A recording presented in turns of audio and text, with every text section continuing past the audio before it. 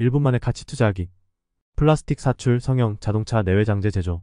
KBI 동국실업의 10년간 매출 현황입니다.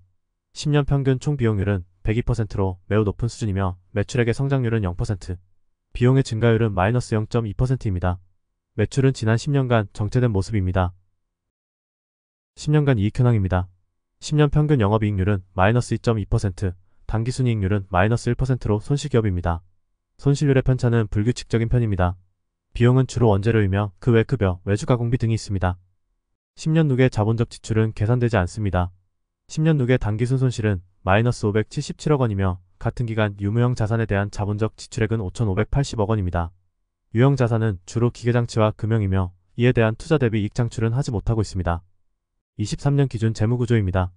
부채 비율은 217%로 매우 많은 수준이며 유동 비율은 81%로 적은 보유 수준입니다. 자산은 주로 유형 자산이며 부채는 차입금과 매입 채무입니다.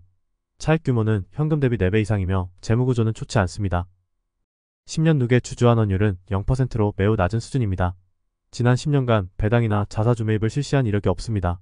이상 KBI 동국실업이었습니다.